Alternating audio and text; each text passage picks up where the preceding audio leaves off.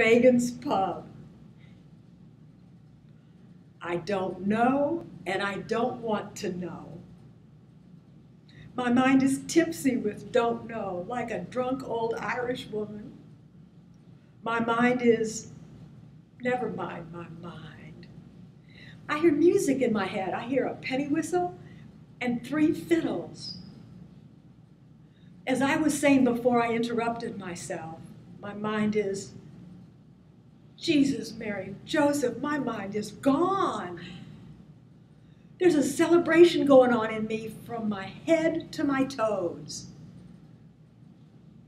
Hey, my heart just opened a tavern called Feagan's Pub.